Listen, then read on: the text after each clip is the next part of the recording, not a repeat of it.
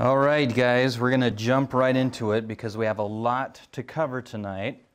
But that's all right. You'll survive because we're talking about a great topic. And that topic, of course, is sex. A lot makes a lot of people uncomfortable, but I love talking about this topic. In fact, when I was a youth pastor, one of my favorite things to talk about with the youth group was sex and what the Bible says about sex.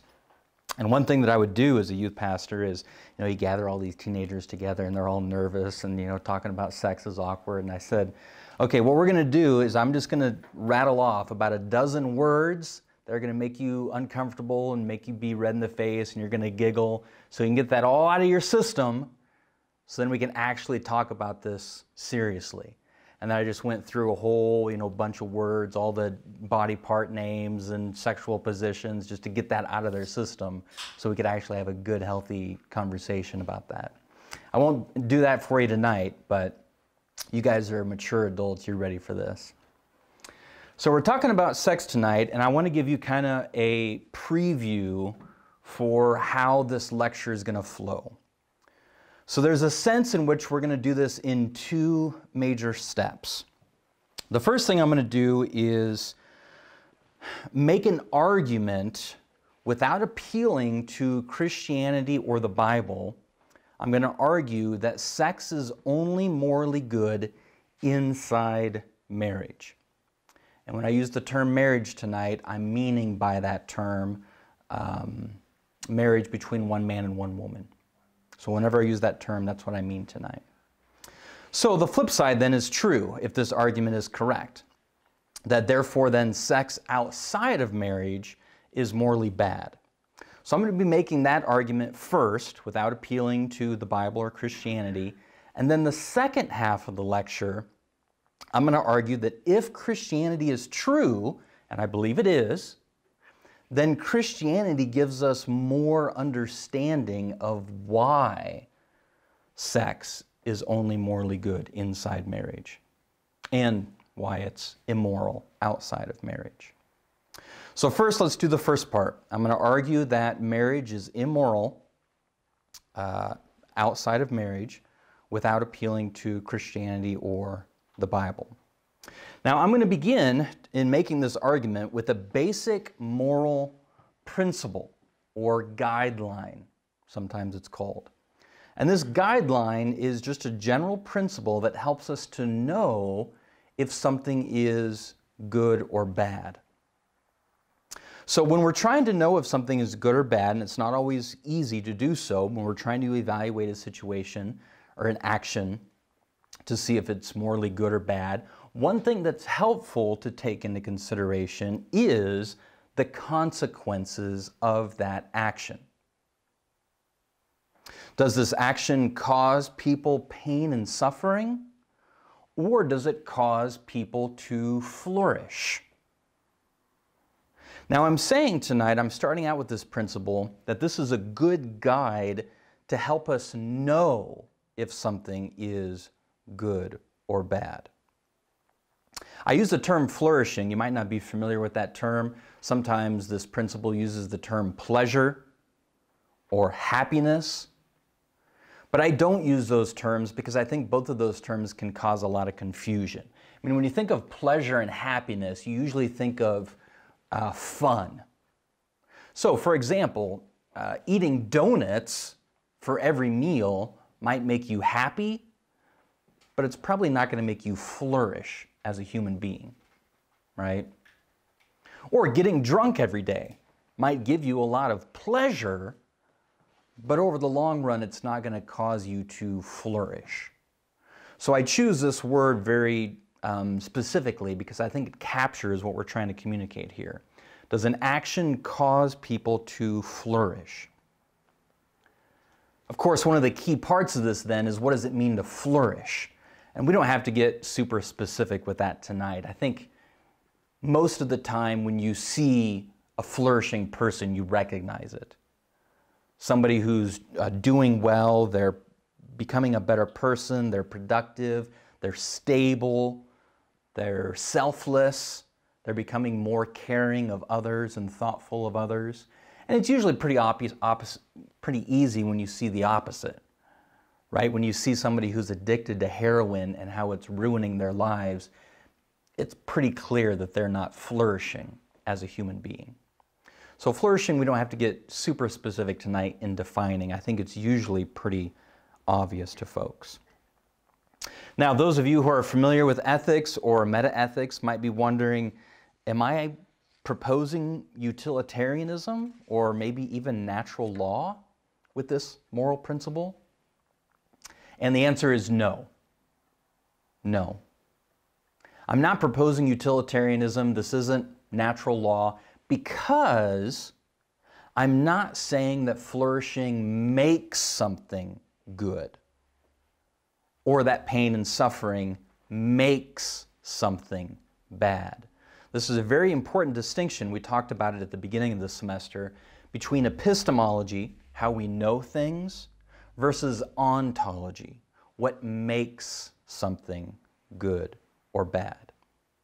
All I'm saying tonight is that this is a principle that's useful in helping us know what's morally good or bad. I'm not claiming that this is what causes something or makes something to be good or bad. So, starting with this basic moral guideline, here is the argument. Premise one, which is just this guideline I've been setting up. A good guide to know if something is morally good or bad is if it causes flourishing or if it causes pain and suffering. Premise two sex inside marriage causes flourishing, not pain and suffering. And premise two would state the flip side of that that sex outside of marriage causes pain and suffering, not flourishing. And in this context, I mean, I think you pretty much know what I mean by sex outside of marriage. That would include sex before marriage, uh, that would include adultery, having sex with somebody who's not your spouse when after you're already married. This would include uh, homosexuality, but also would include masturbation and pornography. So all of this forms, all of these forms of sex are outside of marriage between one man and one woman. So if the first two premises are accurate, the conclusion follows. Number three here, therefore, we can conclude that sex inside marriage is morally good and sex outside of marriage is morally bad. So that's my basic argument that I'm, that I'm going to be making tonight, arguing for um, sex inside marriage is the only morally good form of sex. And again, I'm, I'm, appeal, I'm making this argument without appealing to Christianity or the Bible. I want to give you guys uh, uh some time to chat about this argument. Do you agree with your argument? Disagree? Why? And then if you disagree with it, or if you want to play the devil's advocate, that's helpful sometimes. If you're going to reject the argument or disagree with the argument, what premise would you attack or disagree with? Or if you think both of the premises are correct, maybe you see an error in the logic that flows to the conclusion. So evaluate the argument together, break up into small groups as best you can with social distancing real quick, and I'm going to give you three minutes to chat about it. Go ahead. All right. Well, as you can imagine, uh, people who disagree with this argument usually will go after premise number two, right? So, premise two would be the premise that we would want to spend the most time defending. And I think it's appropriate to do so. We need to defend premise two here. And I think a very strong case can be made for premise two that um, sex outside of marriage causes uh, pain and suffering. Now, I would say, and I think the argument can be made very well and very compelling, that sex outside of marriage causes pain and suffering not only for the participants, well, let's start there. I think for the participants, it causes pain and suffering. I can't tell you how many young women um, that I've worked with as a pastor who have been, uh, their lives have been ruined in various ways by men who were using them basically for sex before marriage. and all the troubles that that caused emotionally, relationally, financially, in their family, all sorts of, of problems. So there's a sense in which, you know, we often make arguments against abortion, and unfortunately, the women probably feel like they take the brunt of that. But based on my experience and working with, with young men who uh, use young women for sex, I think just as much blame needs to go on the young men who are, you know, oftentimes encouraging, if not pushing, uh, their girlfriends or young women into sex, which results in pregnancies that they weren't expecting or wanting.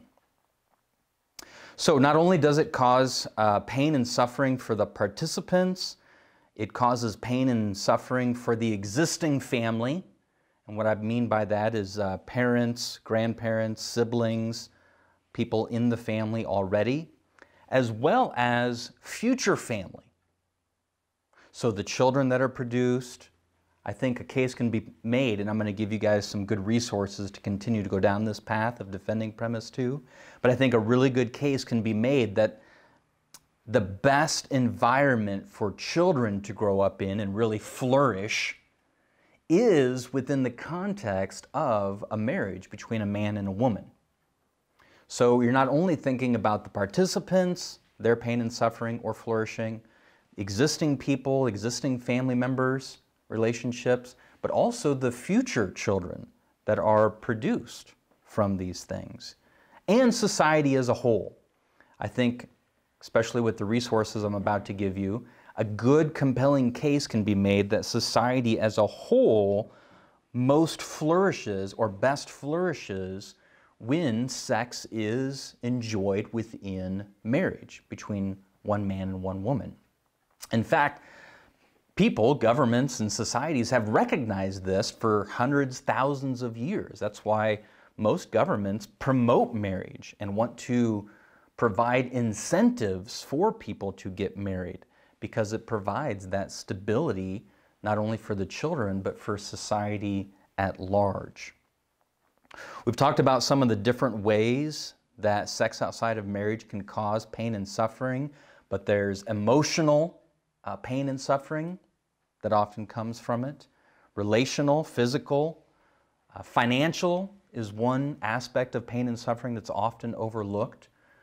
But just a marriage, a man and a woman, provides a financial uh, security or financial situation that these other arrangements often don't. I mean, just think about how messy things can get in terms of inherent passing on inheritances, uh, divorce proceedings, how messy those are. So a lot of these things can just create havoc. Adultery, having children with other people outside your marriage. Well, then where does the money go? Who gets what? It can be a huge mess, which then, which then often causes emotional and relational pain and suffering as well. Now, oftentimes I'll have people when I'm, you know, having this friendly conversation with folks and they disagree with me, they'll often say, well, I've had sex outside of marriage and I didn't experience any pain and suffering. Or I know so and so and they've had sex outside of marriage and then it doesn't cause them any pain and suffering. First of all, that's anecdotal. Uh, second of all, I don't believe it. that it caused no pain and suffering for anybody. And thirdly, for every story like that I hear, I can provide a hundred stories where sex outside of marriage has caused tremendous pain and suffering. It's kind of like, again, the heroin example, and I'm going to use that a lot tonight. But you might hear somebody say, Look, I used heroin or I use heroin, and it doesn't cause any pain and suffering. First of all, I don't believe it. And second of all, for every person who claims that using heroin doesn't ruin their lives, I can give a hundred, probably a thousand examples of how heroin and addiction to heroin has ruined somebody's life, okay? But we don't want to just build our case with anecdotal evidence, an experience here or an experience there. What is helpful to really defend the second premise is to have some substantial research Not just a story here, a story there, but an incredible amount of research. And that's what I'm going to provide for you tonight. I want to move on to other topics. I don't want to spend the whole evening defending premise two because there's a lot of other things I want to cover. But if you want to continue to go down this path, or if you want to write a paper on this issue, you get the opportunity to do something at UNL to write on this topic, I wanted to give you two resources. And these are just uh, collections of research, um, academic research that has been done on this topic. So the first one is called What is Marriage? Man and Woman, a Defense. This was originally published in the Harvard Journal of Law and Public Policy. So in other words, this wasn't written by, you know, the local pastor. This was done at a very high academic level. And it's quotable when you do academic research. I mean, it was originally published in one of Harvard's academic journals. So take a look at some of the authors. There's three authors who put together this collection of research that's been done. The first person has a degree from Oxford uh, as a Rhodes Scholar, and then a PhD from Princeton and a law degree from Yale. Second one, Ryan Anderson, degree from Princeton, PhD Notre Dame. And probably the most impressive credentials is the third author, this gentleman, Robert P. George, um, is a professor at Princeton and Harvard, visiting professor at Harvard served on the President's Council on Bioethics, presidential appointee to the United States Commission on Civil Rights, and a former judicial fellow at the Supreme Court. Now, don't hear me wrong, I'm not making an appeal to authority. I'm not claiming that their research or their collection of research is correct just because they have great academic credentials. That would be an appeal to authority. I'm not doing that. My point in telling you their credentials is to show you that they, this can't just be dismissed. If you're going to challenge premise two, you've got to deal with the research. And this is well done, very academically respected research that has to be dealt with if you're going to challenge premise two. The second resource is called the Family Portrait. Also, again, a collection of data, research, and public opinion on the family and marriage. I wanted to read to you that um, an endorsement on the back of the book. This was written by Robert George, who was one of the authors of the other book. But take a look at what he wrote here as an endorsement for this book. This is the professor from Princeton and Harvard. He wrote, The sexual revolution promised liberation. It has produced instead carnage measured in broken relationships and wounded or ruined lives. Exactly what I've been arguing in premise two. Sadly, its principal victims have been the children, especially children of the poor. So the family portrait documents the dire condition of marriage and the family in our contemporary society. At the same time, it points the way to a recovery of moral sanity. So I think these two resources are, would be very, very helpful to you. And this is where you'd have to go. We're going to stop with this argument for the night. But if you want to continue down this path, your job would be to defend premise two, and those are two resources to do that very well, I believe. Now, another objection to this argument goes like this. This is something that might have came up when you guys discussed for a few minutes. But here's another common objection.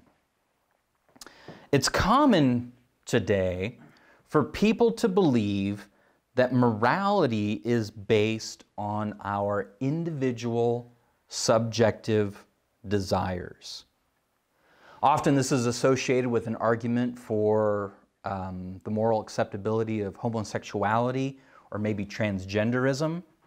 But the argument, if you want to put it in more of a formal argument, would go like this Premise one if someone has a desire for something, then fulfilling that desire is morally good for them. This almost sounds like the subjectivists' argument in the debate a couple weeks ago. Premise two Some people obviously desire to be the opposite gender or have sex with someone of the same gender.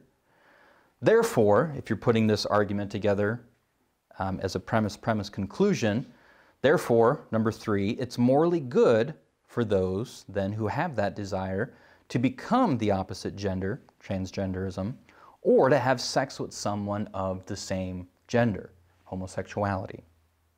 So I want you to get together with your groups again and discuss this argument. Do you agree or disagree with it? Why or why not? And if you're going to challenge it, how would you challenge it? What premise would you go after? Or maybe you'd go after the logic of the conclusion.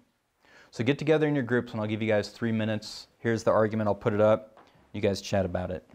All right, well, I overheard a lot of your guys' comments and uh, I think you're on the right track. I would definitely challenge premise one here. And I myself, I've never heard a compelling argument for believing that something is morally good merely if I desire to do it. I don't think a good case can be made for that premise. At least I've never heard a good case.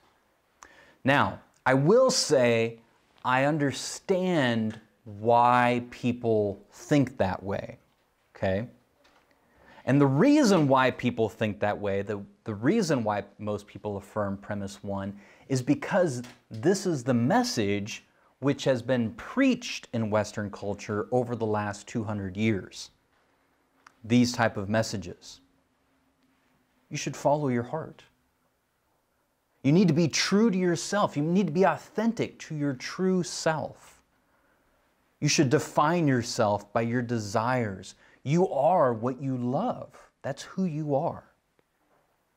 These are the messages which have been preached in our Western culture over the last 200 years. So I know why, I know that's why people believe premise one, but I don't think a good case can be made for it. We're going to take a little detour tonight because I think it's helpful to understand more why people think this way. And it's helpful to understand why people think this way. And to, to understand that, we need to take a look at the history of Western ideas, sometimes called the history of Western philosophy.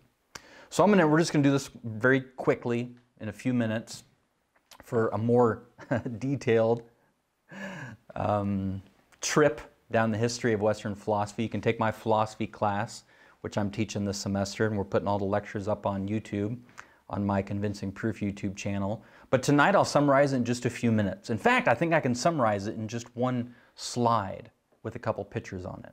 This is a slide that I didn't create, I actually found it on the internet. But I think this slide, in a humorous way, captures the history of Western philosophy. It kind of pokes fun at the three major eras of Western thought. So I'll put it up and you take a look, see if you can find the humor in uh, all three of the eras that kind of poke fun at. Take a look.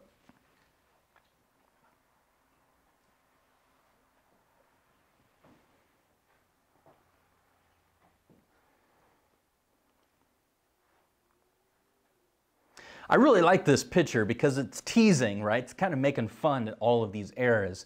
And you've probably heard these terms before. They're not unique to me or this picture that I found on the internet. Most people use these three terms, pre-modern, modern, and postmodern, to talk about the history of Western ideas or Western philosophy, right? So, one way that I summarize these three eras is like this. In the pre modern era, people thought truth was something that came from up there, right? Mostly from God. Most of the pre modern thinkers or philosophers were Christians. Not all of them were. Think of like Plato and Aristotle. They also saw truth as coming from up there somehow in a transcendent realm, some form of a deity. But definitely the Christian philosophers argued that truth, ultimate truth, like the meaning of life and such, came from up there. In the modern era, though, our culture shifted to think more that truth, meaning to life, other important truths, can be found out there in nature. And we could access that truth in nature out there through our reason and science.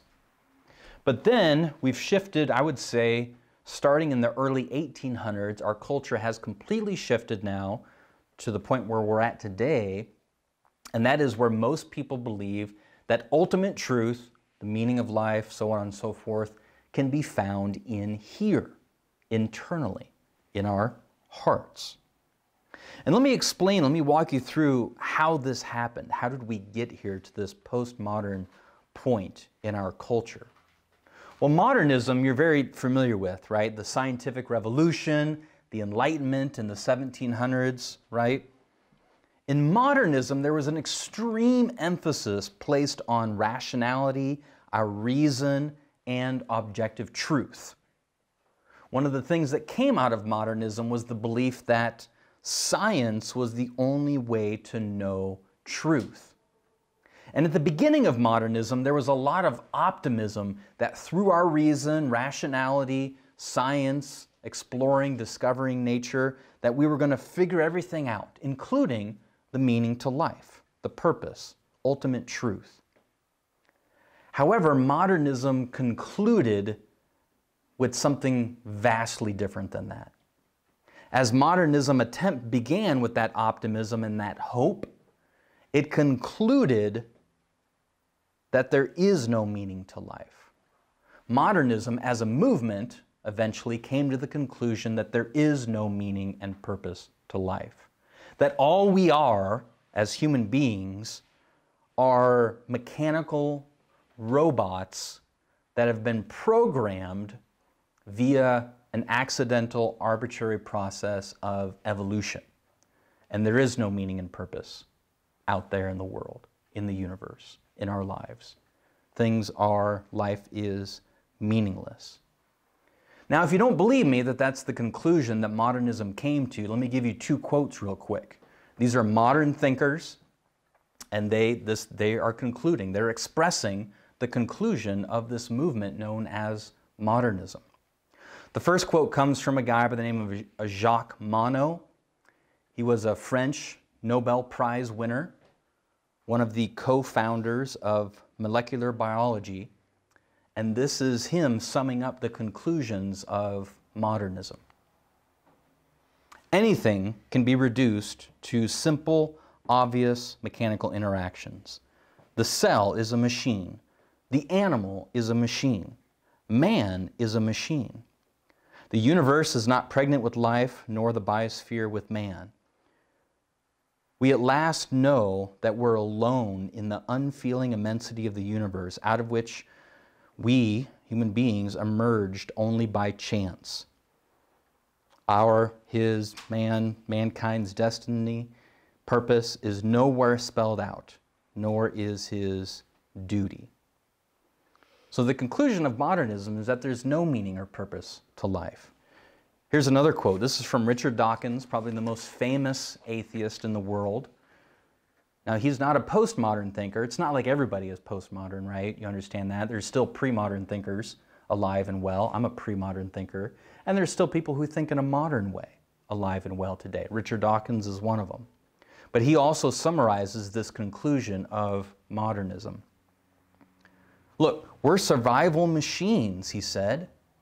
Robot vehicles blindly programmed to preserve the selfish molecules known as genes. This is a truth which still fills me with astonishment. I've known it for years, but I never seem to get fully used to it. Imagine that. Well, because modernism crashed and burned, uh, because it began with this hope that we're going to figure things out, the meaning of life, purpose, through science and reason and rationality and nature, because it started with that hope, but then it ended, crashed and burned with these dead ends, that's what gave birth to the postmodern movement. So, in response to these conclusions of modernism, postmodernism was born. Because think about it for a moment. I mean, how crushing of a blow is that? That there's no meaning and purpose to your life. You're just here by accident and nothing you do ever matters. You're just a robot that's been programmed by evolution. There is no such thing as love. It's just a chemical reaction that nature selected for because it led to greater chances of survival and reproduction for your genes. Love's just a chemical reaction. I mean, that's a, that's a pretty hefty blow. And so, in response to that, people reacted, as you can imagine, against that and proposed these postmodern ideas. Basically, they said, look, if there's no truth and meaning that comes from up there, you know, there's no God, there's no transcendent realm, all that exists is the material physical universe, and there's no meaning out there, we've shown that with science, right? There's no meaning in nature, then really they were so desperate for meaning and purpose, the only place there was left to turn was in here. And so you can kind of have sympathy for the postmodern mindset because it's like sometimes I think of it as like a cornered animal where they had nowhere else to go. They just become desperate. So even though we think it's kind of silly, especially if you're a pre-modern thinker like I do, you think it's kind of silly to view truth and meaning and purpose coming from inside of you, really they had nowhere else to go after the dead end of modernism. And all the postmodern movements have been preaching this message, as I said, for the last 200 years. Beginning in the early 1800s, these are some of the key postmodern movements or thinkers. And there's been several of them, obviously, over the last 200 years. But it's these thinkers which have really moved our culture into the postmodern mindset that it is in today, where we think that truth, including moral truth, comes from within. Now, the vast majority of people don't even know who these folks are, aren't familiar with these movements.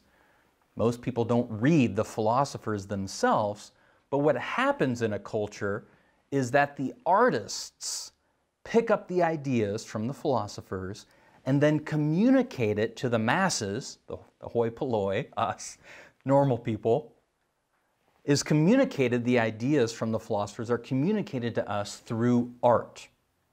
All forms of art. So when I teach this in my philosophy classes, my favorite form of art is movies. I love watching movies. And so I show through movie clips how this message is taught to us from day one. If you've grown up in this culture, you've heard these postmodern messages thousands, if not millions of times, not only in movies, but our TV, our songs, our literature, etc., etc.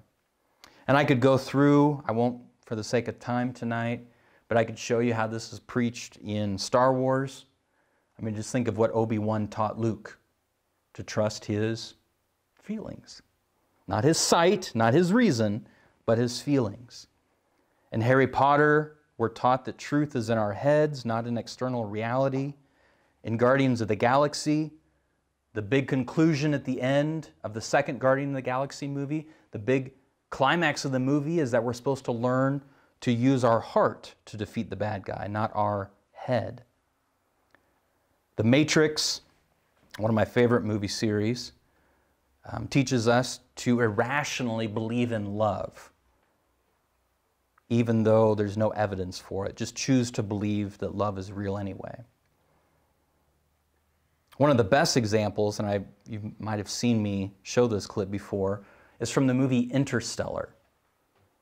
Christopher Nolan is the director. He calls himself a postmodern movie director. He's the one who did the original or the the Batman trilogy in the early 2000s. And so Christopher Nolan I think makes it very clear his postmodern messages in his movies.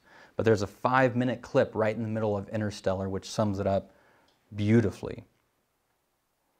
And then some people feel like I exaggerate, but I often say this about Disney movies. The vast majority of Disney movies teach us to follow our heart. And if you don't believe me, there's a Disney movie coming out in a couple weeks, a new version of Black Beauty. Um, and actually, the little girl from Interstellar plays, I mean, she's grown up now, I think she's 20 years old, but she's the main character in this Black Beauty. It's a little bit of a callback connection there. I thought that was interesting. But anyway, if you watch the trailer for this new Disney movie coming out, one of the taglines that shows up right in the middle of the trailer is a black screen with white words, follow your heart. So I'm not exaggerating. This is explicitly the message of most of our Disney movies to follow our heart. And we've all been raised in this culture, so we all grow up thinking this way that truth, including moral truth, is found in here, in our desires, passions, feelings. That truth, beauty, is in the eye of the beholder. That's a very postmodern message. Now, we've all grown up with these ideas, we've all been trained to think this way, but what I encourage young people to do is to really think about the things that they've been taught. We've all been taught certain things by our parents, by our culture, but eventually you grow up and you, you have to evaluate. Are the things that I've been taught by my parents all correct? Are the things that my culture has taught me actually true? And I think you should evaluate these postmodern messages to see if they really are correct. So, here's another discussion question for you after our run through of the history of Western philosophy. If you were going to challenge this idea that meaning and truth comes from within, including moral truth, how would you challenge that idea? Let's say you're having a conversation with somebody and they're convinced that they should follow their heart, that truth, purpose, meaning, morality all comes from inside of them, from their heart. How would you lovingly, respectfully challenge that idea? All right, I'll give you three minutes. All right, I'll, I'll tell you how I lovingly challenge people um, who believe this. And again, you know, especially as part of Ratio Christi, we want to do this in a loving, respectful way.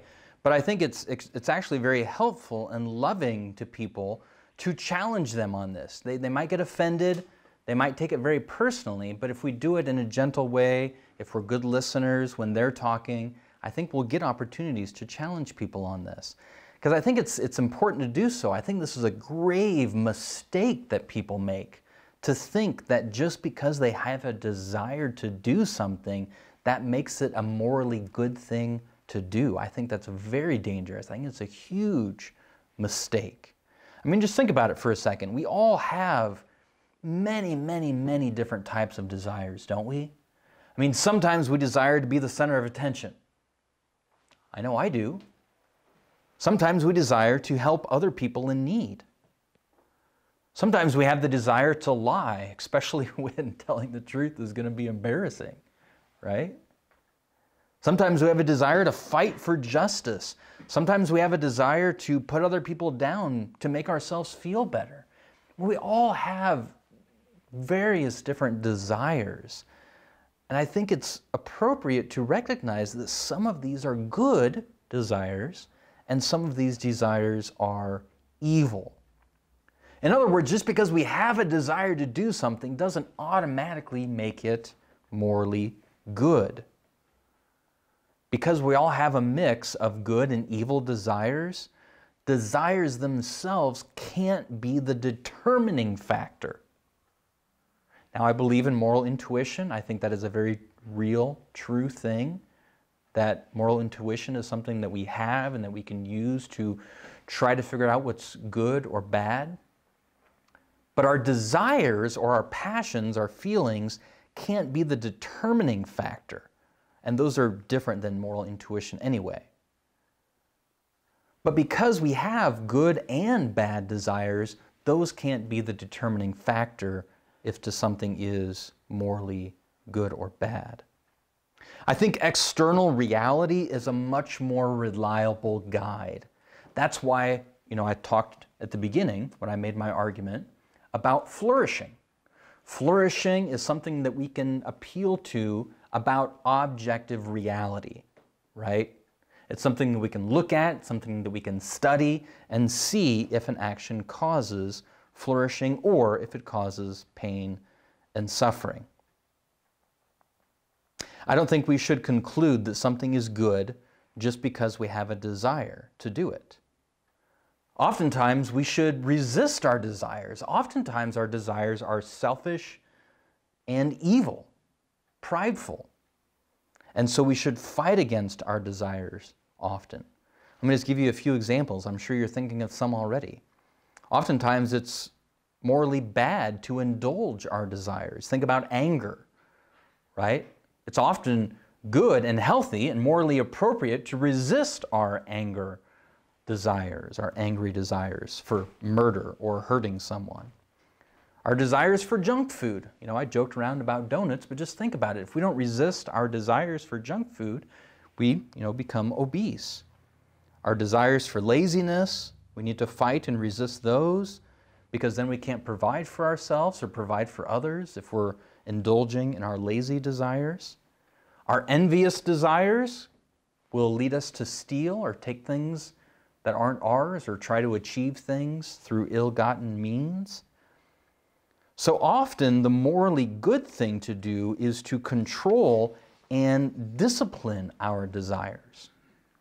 So take all of that, everything that we've just talked about here the last couple minutes, and just apply it in the sexual realm. Now, I affirm that we all have different sexual desires. I mean, you've probably seen the studies or read the books about human sexual desire, and it's very uh, diverse. You know, there's all sorts of different desires, fetishes. You know, some guys really like feet for whatever reason. I mean, we joke around about it, but there's a whole different, um, there are different sexual desires that people have.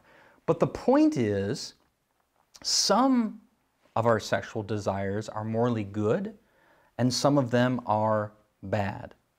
Now, I'm going to give you a list of bad sexual desires, and some of them might gross you out, but it's just a scientific fact that some people, maybe some even in this room, have these desires.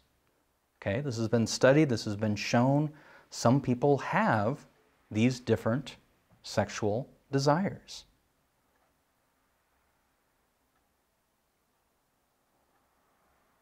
I won't go through them all. You can see them on the PowerPoint. And some of these might seem very strange to you, especially if you don't have those desires. They may seem very odd. But the fact is, some of us find ourselves having these desires.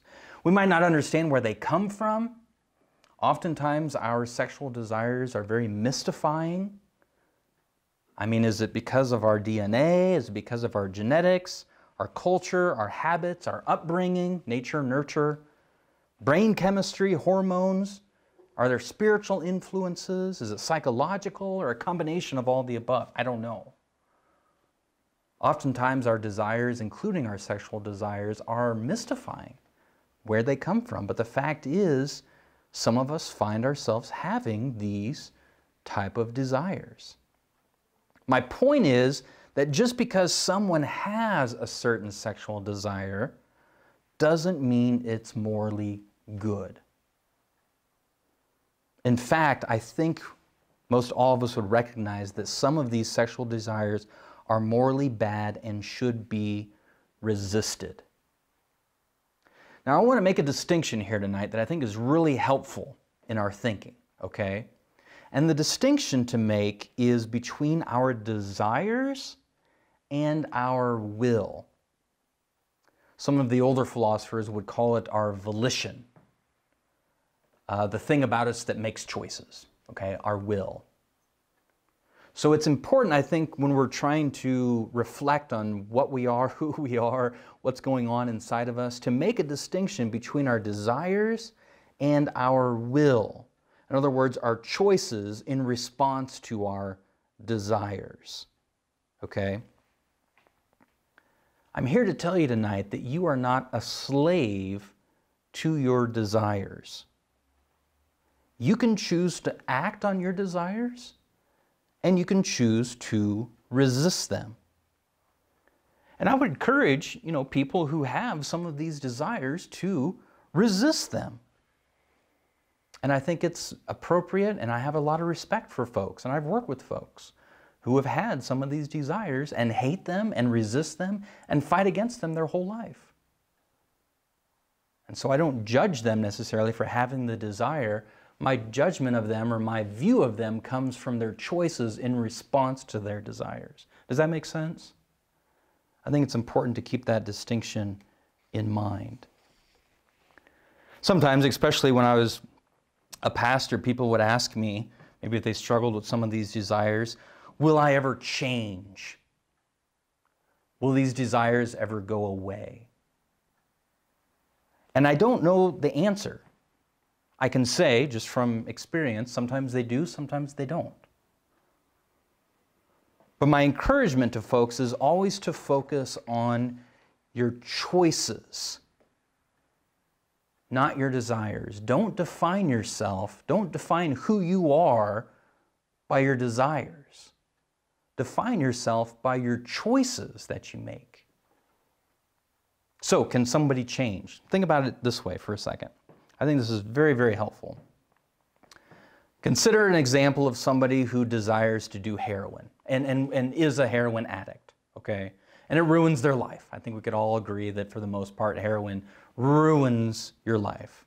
So let's say you've got this person in mind, they've taken heroin, they're addicted to heroin, they desire heroin, and it has ruined their life. But one day, they decide they want to change and they begin resisting their desire for heroin.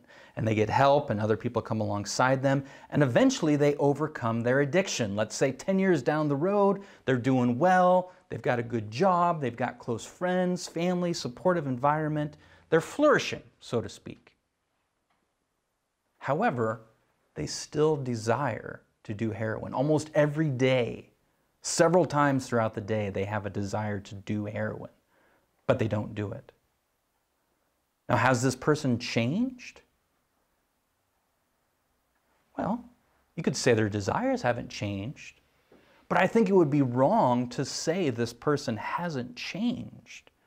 I think this person has changed radically because, again, I'm viewing them or judging them, if you will, considering them based on their choices, not their desires. That's why I think it's so important to make this distinction between our desires and our will, our choices. So, my encouragement would be to you not to look down on people who have these desires. So, take pedophilia, for example. Some people find themselves with that desire. And I would encourage you, I think it's appropriate to call those desires evil.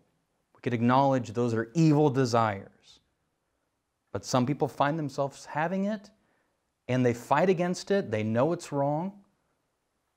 They wish they didn't have them. And I have a lot of respect for people who might have evil desires who fight against them.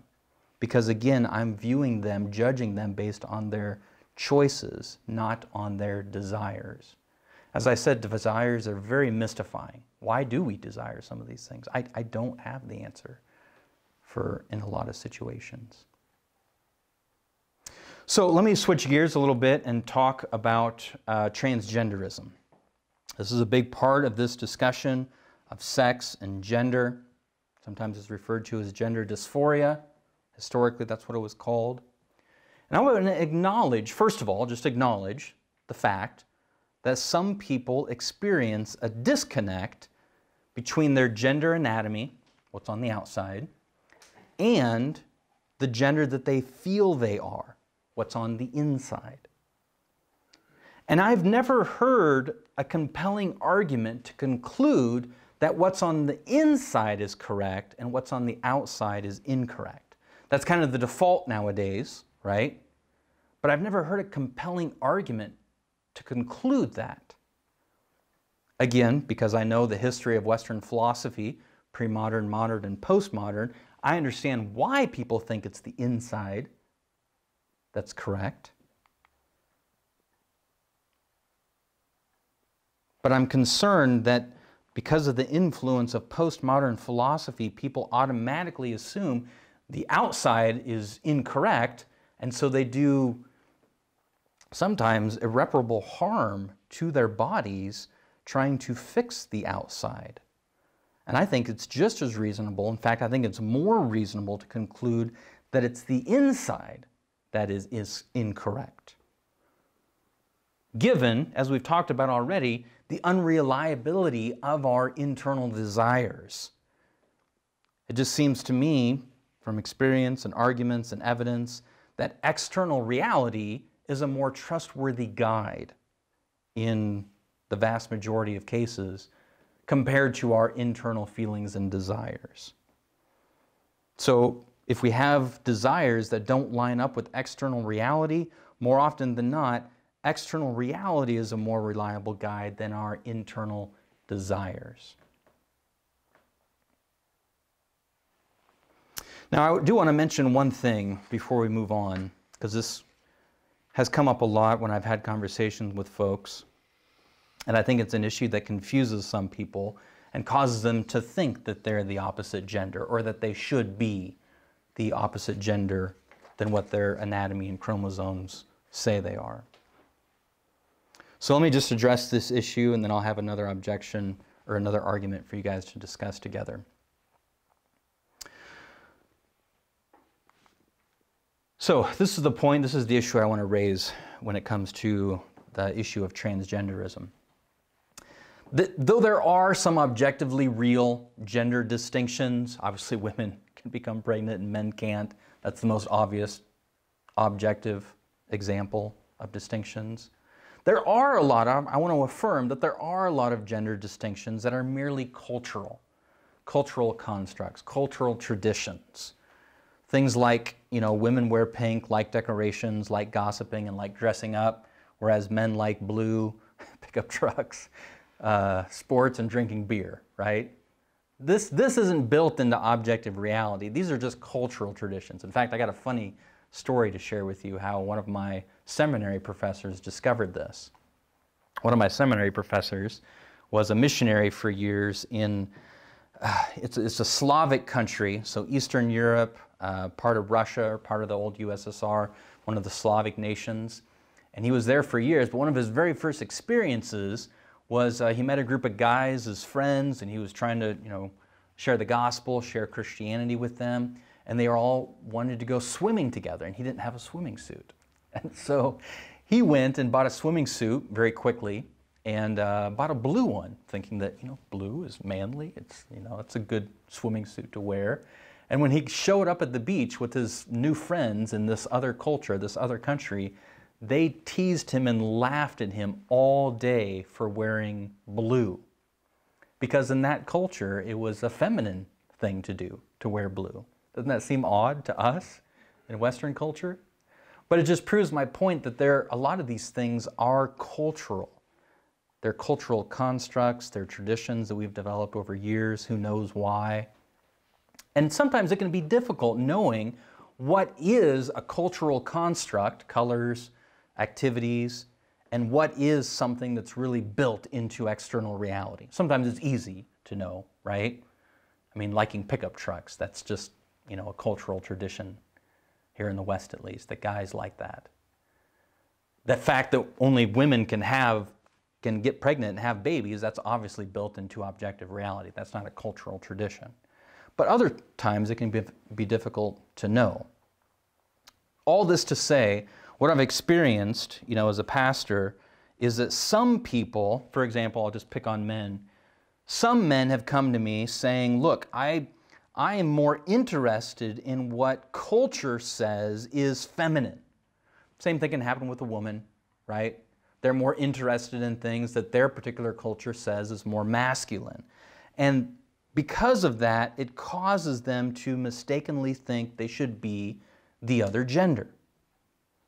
And so I work with them and I've shown, you know, people that look, this is just these are just cultural things. Even if you enjoy what our culture says is more feminine, that doesn't mean that you are a woman or should become a woman if you are a man. There's also things we want to recognize about average differences right? This bothers some people, and you just have to work through it, help them understand that there's just common averages between men and women that's, that are built into objective reality. It's just a fact that on average, men are taller and have greater upper body strength. It's just a fact, on average, women, girls do better in school and have greater color vision. And being uncommon I, I struggle with trying to find the right word here, being outside the average extremely, being a short man or being a very strong woman, being outside the norm, outside what's common, doesn't make you the opposite gender or doesn't shouldn't be a reason why you should want to be uh, the opposite gender. Okay, these are just things that some people have to work through, and so I wanted to mention them here before we moved on. Okay, another objection, a lot to cover tonight, I told you. Another objection to the argument that we began with you often hear that as long as sex is between consenting adults, then it's morally okay. So if you want to put it into an argument, here you go. Premise one as long as something is done among consenting adults, then it's not bad. There are situations where consenting adults have sex outside of marriage, adultery before marriage, whatever, uh, homosexuality. Therefore, situations where consenting adults have sex outside of marriage is not bad. So get in your groups again. I'll give you three minutes to discuss this. What do you think of this argument? Do you agree, disagree? How would you challenge it? If you're going to challenge it, a premise, the logic. So here's the argument again, and uh, go ahead and discuss it for three minutes. All right. Well, the first thing I want to do is uh, affirm that consent is a very important factor to consider when you are evaluating a situation to see if it's morally good or bad. Okay, consent is very, very important. In fact, I would say that sometimes, in, in some situations, situations, consent can actually be the determining factor that makes something morally good or morally bad. Ben, when we were talking about this earlier in the week, had a great example of this. And that would be the um, situation of you taking my car right now. If I didn't consent to that, that would be stealing and morally bad, right? But if I gave you consent, if I said you could take my car and gave you my keys, then it would not be morally bad. So consent does play an important role in ethics, and I want to affirm that. However, I want to also make the case that consent by itself doesn't and cannot make something morally good on its own. I'll give you some examples. Even if there's consent, prostitution is still morally bad. Even if there is consent, among adults a 45 year old man having sex with his 25 year old daughter, incest, consenting adults, is still morally bad. So, consent by itself, even though it can be a very important factor, can't by itself make something morally good. In philosophy, if we were going to do this in a philosophy class, we would say it more technically than this. In philosophy, we could say something like this Consent is a necessary but not a sufficient condition. Consent is necessary, just think about the sexual realm for a second. Consent is necessary, right? You need to have consent in a sexual situation, otherwise, it's rape, and that's morally bad. So, consent is necessary, but by itself, it's not sufficient to make something morally good. As I said, there's examples where even though there is consent, we would all recognize it's not morally good. Prostitution, incest, I'm sure you can think of others. So just because there's consent between adults doesn't necessarily make it good. Sometimes you hear people say, well, we should be free to love who we want. A couple things in response to that. Um, first of all, I think it's important to distinguish between love and sex. Okay? I mean, I would, my understanding is that within marriage, sex is part of that love, but there's a lot of loving relationships between family members and friends that don't include sex. So we have to make that distinguish. We have to distinguish there between love and sex. Secondly, I'm not arguing for anything to be illegal tonight. Okay, my, my argument has nothing to do with legality or freedom. Okay, all I'm talking about tonight is whether something is morally good or bad. Whether something should be illegal or not is a different conversation, and I'm happy to have that conversation. But tonight I'm merely talking about what's immoral or moral, what's good or bad. Some things that are bad should be illegal, like rape and murder, but there are other things like, you know, telling white lies, silly example, we would agree is morally bad, but most people wouldn't say that white lies should be illegal. So I'm not going down that path tonight. All right. Well, we're done with the first part of the lecture. now we're going to move on to part two, but this is going to go more quickly. I want to transition now to considering if Christianity is true. So far tonight, I've been making a case that sex is only morally good within marriage. So any form of sex outside of marriage between a man and a woman is morally bad. I've been making that case without appealing to uh, the Bible or Christianity at all. But now I want to consider if Christianity is true. I believe Christianity is true. I believe that God exists, that Jesus is God, and that the Bible comes from God. And we have a lot of good reasons and evidence to believe that Christianity is true. In fact, that's what we do at Ratio Christi, is we mostly present those reasons and evidence. So tonight I want to consider if Christianity is true, and I believe it is, then it, Christianity, gives us more understanding here as to why sex is only morally good inside marriage. So, the first thing I think that Christianity helps us understand better is that it explains why causing pain and suffering or flourishing is a useful guide to know if something is bad or good. Remember at the beginning of this lecture, I said that I was only presenting it as a useful epistemological guide. I wasn't making an ontological claim. I was just saying it was a useful principle for us to know if something is good or bad.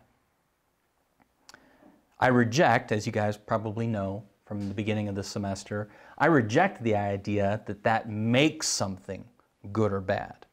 But I affirm it can be a useful guideline to help us know if something is good or bad. So, according to Christianity, what makes something good or bad? I think Christianity, if it's true, and I believe it is, helps us understand why this is a good moral guide for us. So, what makes something good or bad if Christianity is true? Well, let me present my argument very quickly for this. My first premise, I would argue that something is morally good if it resembles God. God is the ultimate standard of good and evil. So something is good, in particular, I would argue, if it resembles the love between the members of the Trinity. That's what makes something morally good. If it doesn't resemble that love between the members of the Trinity, then it's morally bad. God's the ultimate standard. Doing something loving as a human being to another human being, doing something loving resembles the love in the Trinity. It resembles God. Number three, causing other people to flourish is a loving thing to do. And generally, for the most part, causing others pain and suffering is not a loving thing to do. I say generally because you know the silly examples of getting a root canal or getting open heart surgery, you do cause some pain and suffering, but it's ultimately for them to flourish, right? So that's why I say generally there. So, conclusion there, number five, therefore, causing others to flourish is morally good. Causing pain and suffering is morally bad. And if Christianity is true, it helps us know why that's the case. That's what makes something good or bad.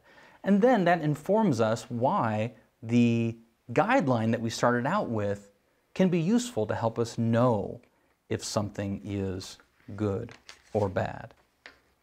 In other words, both Christianity and utilitarianism can use this guideline because both positions agree that flourishing is good and suffering and pain is bad. We just disagree, Christianity and utilitarianism, consequentialism, disagree about what makes the action good or bad. So I want to transition now more to what I titled the lecture, and that is How the Bible Celebrates Sex. Because I think we need to ask the question okay, if Christianity is true, if God exists, if Jesus is God, if the Bible comes from God, then what does God have to say about sex?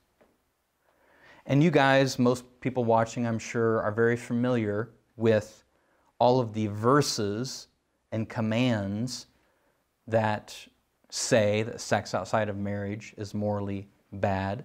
So I'm not going to cover those verses. And you can look those up if you're not aware of them. I think everybody is aware of those verses. So it's very clear and obvious that the Bible uh, says that sex is only morally good inside marriage. In fact, I think those verses that condemn uh, sex outside of marriage are so often um, given and preached on that many Christians and non Christians actually think the Bible is against sex, is against sexual desires. In fact, um, a lot of our art, by art I mean movies, TV, songs, often use that worn out stereotype of churches, pastors, priests condemning sexual desires. You see that in movies all the time. In fact, there's a new movie out on Netflix right now. Uh, this is the girl from Stranger Things, and uh, she plays a, a high school student at a Catholic school, and she is one of those individuals that in the movie has very strong sexual desires. But the movie, I can tell just from the trailer, is using that old worn out stereotype that the church and the religious leaders are condemning sexual desires. And so it's just an old worn out stereotype. And sometimes, you know, we, we perpetuate the stereotype because that's, as a church, as pastors, that's all we talk about are the commands against sex outside of marriage. So you might be surprised to hear that the Bible actually celebrates sex and celebrates and encourages sexual desires. And I'm going to show you that tonight. so you have more opportunities for some red faces tonight and to be embarrassed. These are the rated R sections of the Bible. All right, I'm going to show you tonight. To prove to you, and I want to spend quite a bit of time on this, because I think a lot of people, non Christians and Christians, are surprised how much the Bible actually celebrates sex. In fact, when I was a student at UNL uh, in the mid 90s, eons ago, I took an English literature class. And in this class, we were supposed to bring some of our favorite poetry to read to the class. And I brought some excerpts from the Song of Songs in the Bible and read them without telling anybody in the class where they were from. And we're going to read some of those verses, so get yourself prepared. I read these verses in front of the class and the professor, and they were all, you know, into it totally. You can imagine college students. You are college students. Oh, this is erotic. This is scandalous. Where is this? Is this romantic? Is this from the Romantic era? So on and so forth. They name it off. I said, actually, no, this is from the Bible. and just blew their minds. Even the professor was like, what? Where? Is it condemning these things? I said, no, it's celebrating these things. So let's take a look. I want to prove to you that this, the Bible celebrates sex and sexual desires. Take a look. We'll start in Proverbs here. Bible says, uh, drink what? This is a lot of innuendo, obviously. Drink water from your own cistern, water flowing from your own well. Should your springs flow in the streets, streams of water in the public squares? They should be for you alone and not for you to share with strangers. Let your fountain, you know what that means, be blessed, and take pleasure in the wife of your youth. As a loving doe, a graceful fawn, let her breasts always satisfy you be lost in her love forever. Now, you might be thinking, I can imagine somebody already thinking, well, okay, yeah, maybe the Bible celebrates uh, male sexuality, but never female sexuality, right? Well, obviously, if you think that, you've never read Song of Songs. Take a look at this. This was Song of Songs is kind of set out almost like a play uh, between a man and a woman and others. Uh, the audience is another big character in the play. So you'll see that even in the Bible it's laid out okay, the woman is speaking now, the man is speaking now, and here is a situation where the woman is speaking, talking of her lover or soon to be lover. Oh, that he would kiss me with the kisses of his mouth, for your love is more delightful than wine. The fragrance of your perfume is intoxicating. Your name is perfume poured out. No wonder the young women adore you. Take me with you, let us hurry. Oh, that he would bring me into his chambers. The audience, you know, encouraging this, and some people put God even in the audience. We will rejoice and be glad for you. We will praise your love more than wine. Also in chapter 2, written by the woman, or the woman speaking here, like an apricot tree among the trees of the forest, so is my love among the young men. I delight to sit in his shade, and his fruit is sweet to my taste. He brought me to the banquet hall, and he looked on me with love, Sustain me with raisins, refresh me with apricots, for I am lovesick. His left hand is under my head, and his right arm embraces me. Young women of Jerusalem, I charge you by the gazelles and the wild does of the field. Do not stir up or awaken love until the appropriate time. So, as much as there is a celebration here of sexual desire and anticipation of sex within marriage, there's also a, a warning here not to uh, awaken or fulfill these desires until the appropriate time. The man's perspective I have come into my garden, my sister, my bride. I gather my myrrh with my spices. I eat my honeycomb with my honey. I drink my wine, my wine with my milk. Eat, the audience, possibly God in the audience. Eat, friends, drink, be intoxicated with love. We're going to continue. The woman, my love is fit and strong, notable among 10,000. His head is purest gold, his hair is wavy and black as a raven. His eyes are like doves beside streams of water, washed in milk and set like jewels. His cheeks are like beds of spice, towers of perfume. His lips are lilies dripping with flowing myrrh, his arms rods of gold set with topaz.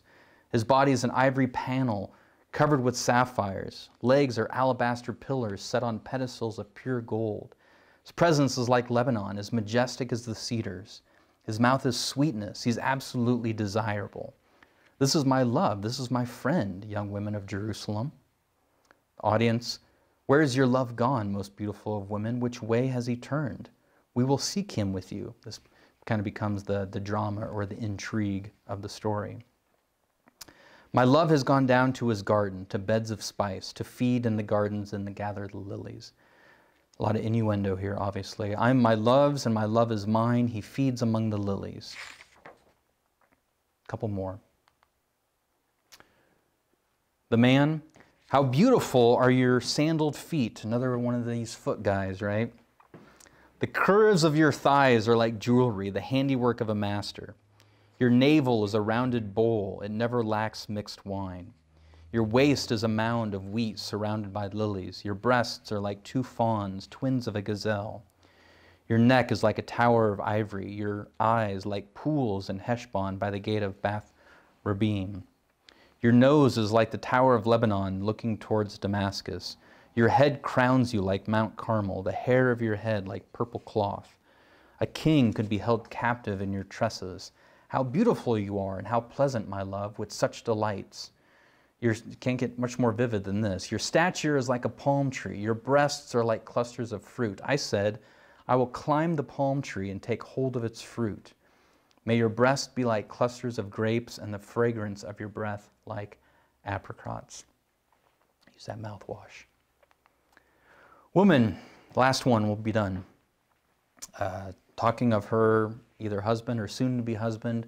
Your mouth is like fine wine, flowing smoothly for my love, gliding past my lips and teeth. I belong to my love, and his desires is his desire is for me. Come, my love, let's go to the field. Let's spend the night among the henna blossoms. Let's go early to the vineyards. Let's see if the vine has budded, if the blossom has opened, if the pomegranates are in bloom. There I will give you my love. The mandrakes give off a fragrance, and at our doors is every delicacy, new as well as old. I've treasured them up for you, my love, if only if I could treat you like my brother, one who nursed at my mother's breasts. Then I would find you in public and kiss you, and no one would scorn me. In that culture, it was inappropriate to uh, have any public displays of affection. Um, I guess it was okay if it was your sibling, but if romantically, it was it was uh, looked down upon. So she was she was saying, "Man, I almost wish that you could were my sibling, then I could hug you and kiss you in public." I would lead you, I would take you to the house of my mother who taught me. I would give you spiced wine to drink from my pomegranate juice. His left hand is under my head, and his right arm embraces me.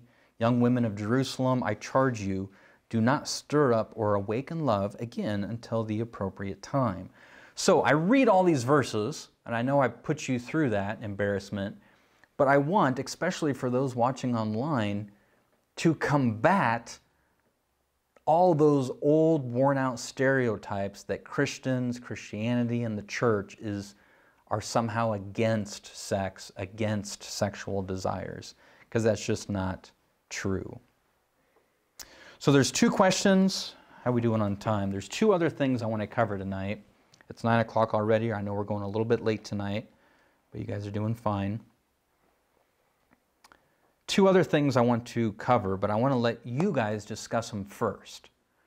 All right? So if you can stand the embarrassment after reading all those verses, get back together in your groups and uh, discuss these two things. If you just want to focus on one of them, that's fine.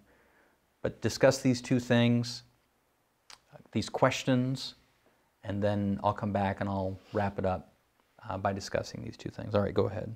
All right, well, I started here with this first question, um, this classic joke. You've probably heard this before. I've heard a lot of atheists make this joke, or just really sometimes it's just an exasperation, right? That, boy, it seemed like God has played a, a cruel trick on us. He gave us these intense, oftentimes overwhelming sexual desires, and then told us not to have sex. First of all, we've seen already from the Bible that that's not the case at all. In fact, the Bible, God celebrates and encourages sexual desires. However, I think it is appropriate to ask why, or wonder maybe, why did he give us such strong sexual desires?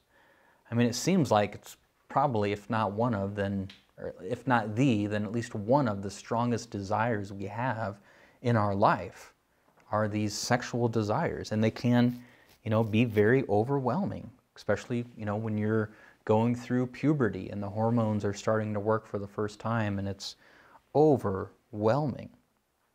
So why why could it be the case that God would give us such intense desires? A little bit of speculation here. Um, this is what we do in theology. We try we start with the Bible, start with uh, special revelation and general revelation, and try to understand things as best we can from what God has given us. So, a little bit of theological spec speculation here tonight. But I, I would say that one possible reason that God has given us these very strong desires is that there's a, there's a caricature, uh, maturity building benefit from learning how to control and discipline your desires. There's some real benefit from learning how to discipline and control your desires. So it might be the case, and I think it's reasonable to conclude, that God gave us some of these desires for us to learn how to control. I mean, most uh, folks recognize that one of the key measures of maturity in folks is to is that they're able to deny themselves Im immediate pleasure, immediate desires, the fulfillment of their impulses uh, immediately, to, de to deny those in order to reap more longer term benefits. And most people acknowledge that's a key indicator of maturity.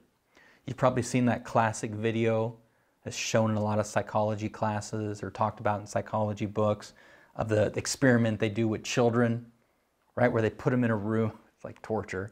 But they put them in a room with uh, one marshmallow, and they say, Now, I'm going to leave the room, and you can eat that marshmallow if you want to. But if you don't eat it, after so many 10 minutes or so, I'm going to come back and then I'll, you can have three marshmallows.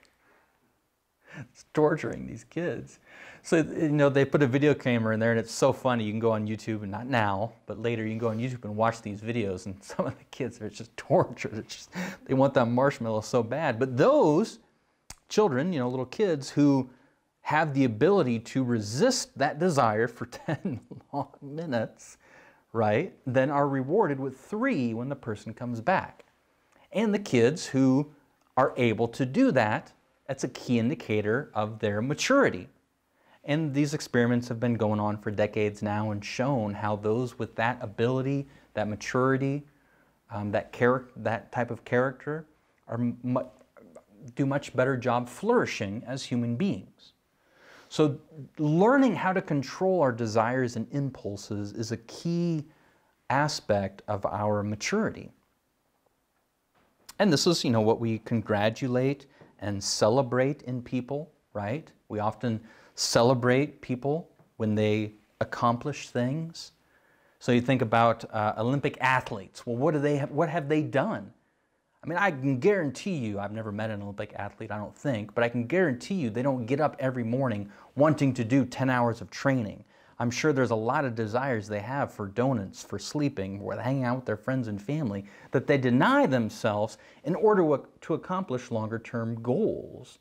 And we acknowledge that and reward and celebrate them for that. Same thing with academic degrees, right? You as students know this. You have to deny your immediate pleasures, and those who can't they don't do as well. So this is a key part of maturity and growing up is learning how to discipline and control our desires and, you know, focus them into appropriate things or at appropriate times, if you will.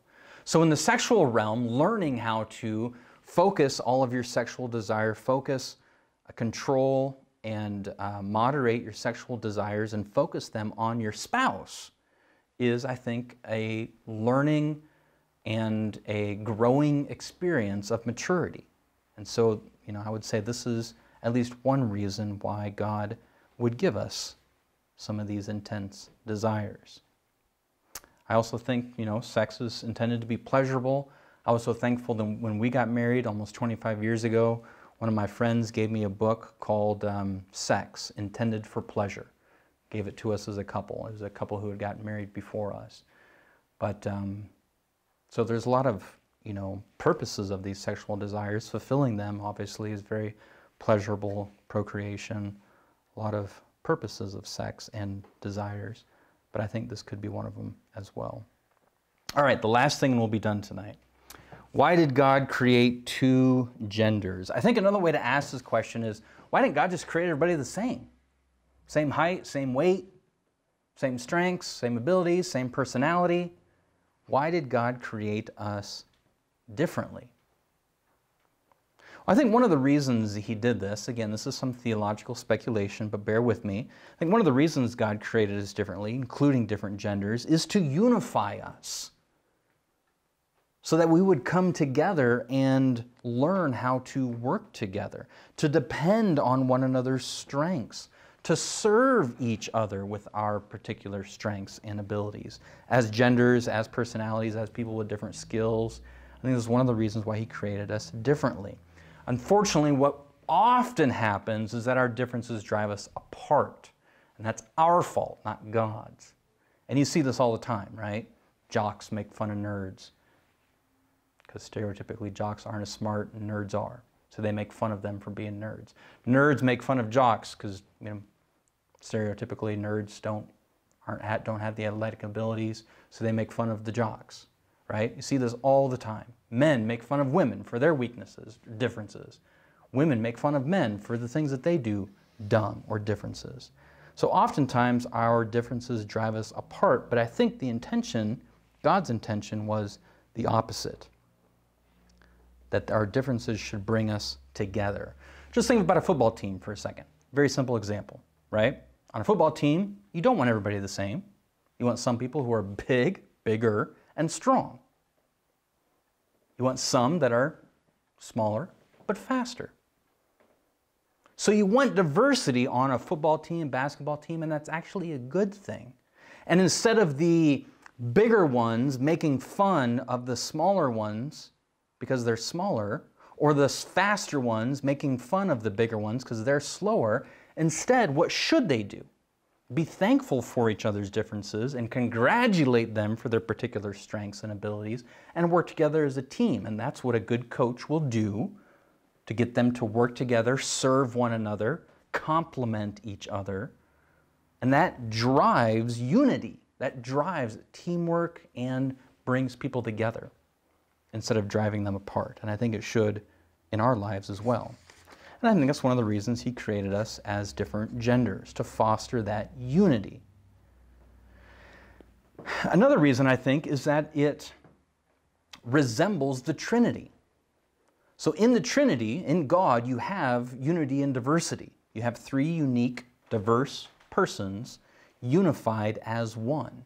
And if God created us to reflect Him, God created us in His image to resemble Him, this is just one way that we do that.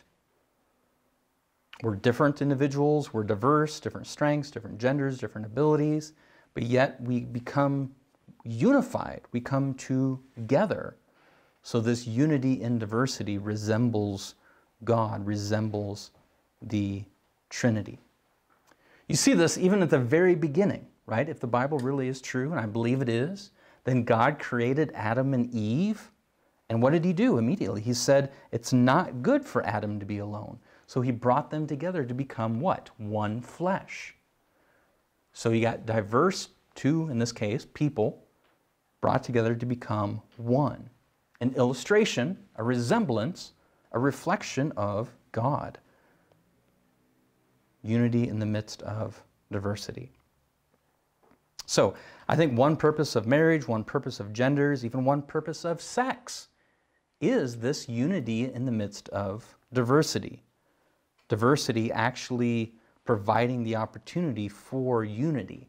And that's what sex in that's one of the things that sex accomplishes in marriage is to bring people together. I mean, besides just the physical aspect of becoming one, obviously there's some innuendo there. But what sex can do within a marriage is bring people together, not only one, bring a man and a woman together, not only physically as one, but also emotionally. The way that I like to explain it is like with children telling secrets. You guys all had best friends when you were little, I'm sure, and you told each other secrets. And the secrets themselves probably weren't all that important, right? What was important is that you shared something private and secret with someone, and then they kept the secret. And that experience really brought you and your friend together. It bonded you, sharing those secrets, if you will. And there's a sense in which sex does that for a married couple as it brings them together, intimacy, not only physically, but emotionally, as they do these things in secret, private, together, that only they know about. So, if you want to continue going down this path, um, this is a great little book. It's not hugely deep or philosophical, just a great little Bible study book you can do with a group that helps you understand how the Trinity, in a sense, helps explain everything uh, marriage, society, the church. Um, I think most every part of creation is an image, a reflection of the Trinity in some way, shape, or form. Well, since this is the last Ratio Christi of the semester, I wanted to, especially since we're talking about Christianity, and I'm concluding this lecture, right, assuming that Christianity is true. I, I, I, don't do that as an assumption. I believe Christianity is true based on good reasons and evidence. That's what we do in Ratio Christi. But if Christianity is true, there's something I said tonight that I want to reflect on a little bit more. This will just take a minute or two. But earlier tonight, I said that you are not slaves to your desires. Do you remember that? in the context of one of my arguments, I said that you're not a slave to your desires.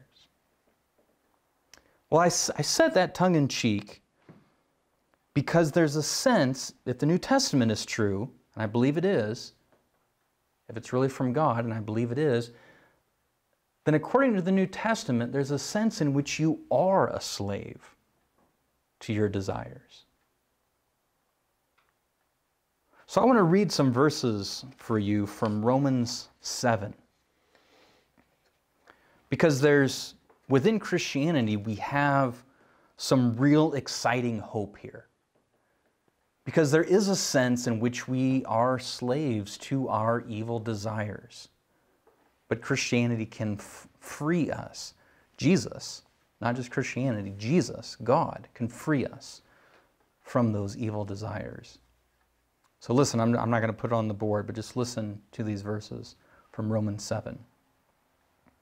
This is Paul writing. He says, For we know that the law is spiritual, but I'm fleshly, sold into sin's power. For I do not understand what I'm doing because I don't practice what I want to do. I do what I hate.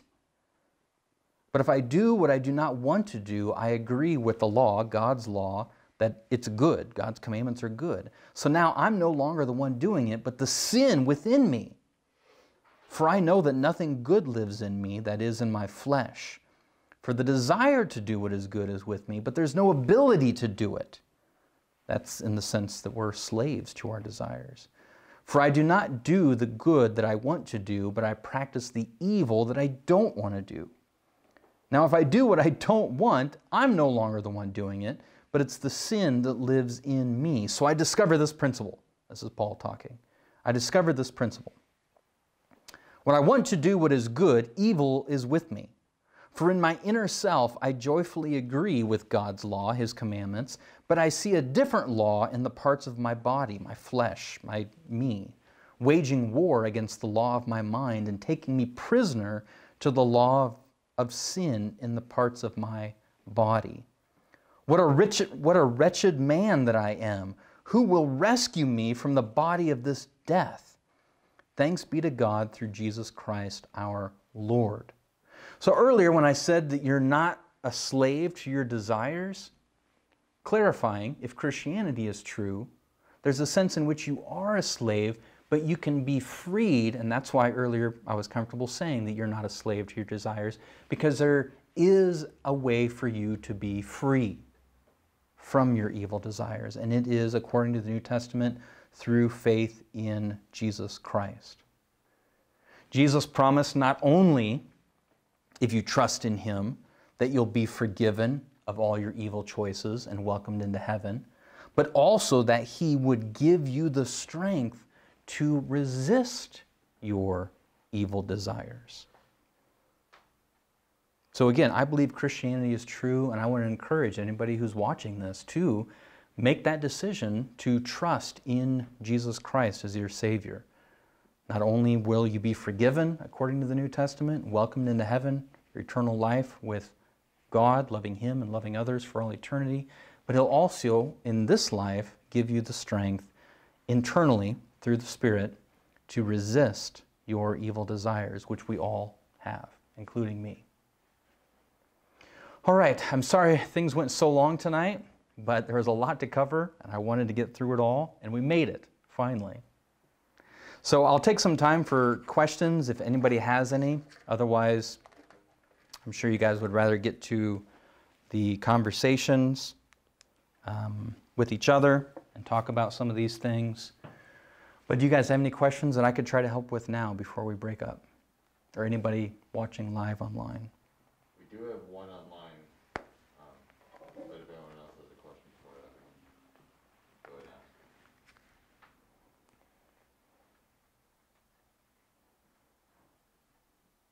Alright, so the question online, and this was back to when we were talking about um, challenging uh, someone who believes that uh, the source of meaning, truth, and morality comes from within.